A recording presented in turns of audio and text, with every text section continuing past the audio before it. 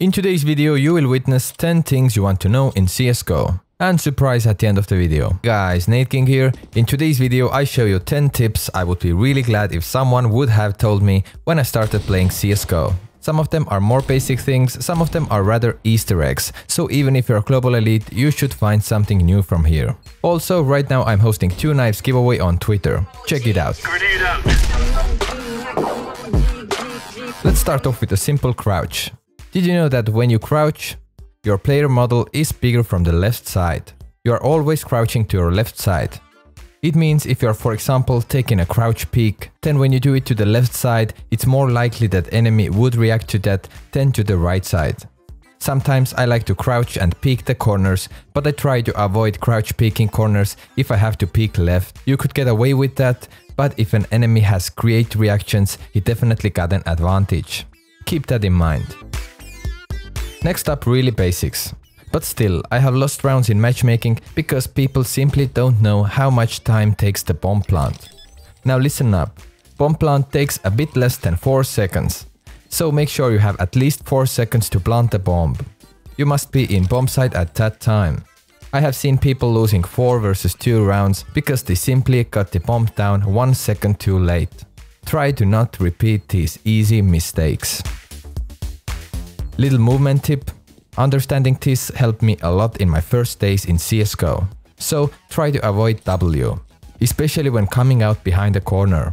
Of course, you can't avoid W if you need to move straight, but when you're clearing the corner or peeking out like this, use only A or D. Because when you shoot, you want to stay still and it's easier to get you still when you have to counter only side movement.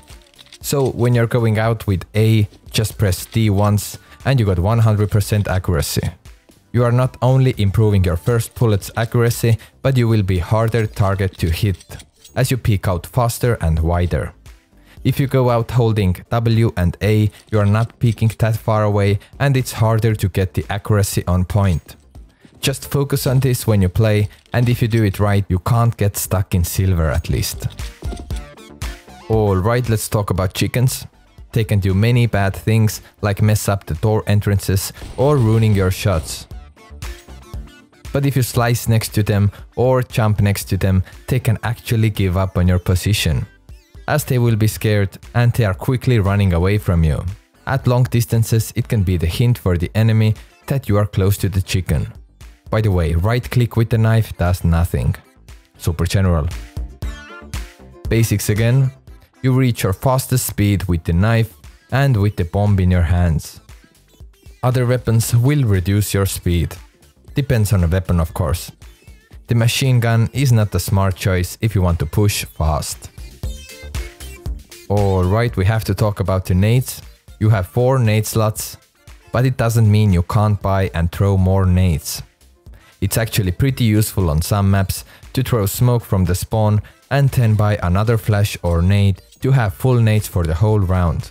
On Mirage for example, you can even fake A with flashes and rebuy them from spawn.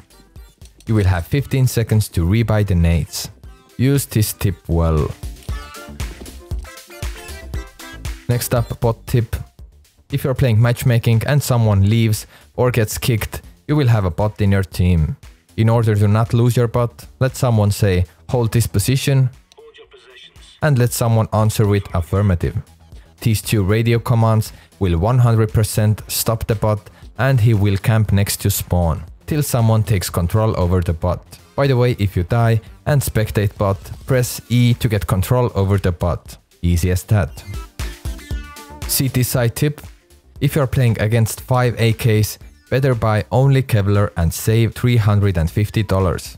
Do not buy Kevlar plus helmet, because AK-47 will anyways kill you with one bullet in the head. A helmet will not help you in this case of scenario. If they are on force buy or pistols, then go with the full Kevlar Plus helmet of course. But otherwise, it's a great way to save some money. Alright, rather situational tip, but really useful to know for lurkers. If you reload, you will leave magazine behind you for about 15 seconds. So if someone is chasing you and sees the magazine, he knows that you must be close. Make sure to check the ground once in a while and reload when you really need to reload. If you still have 25 bullets to shoot, you are okay. And the last tip for this video. Smoke the bomb.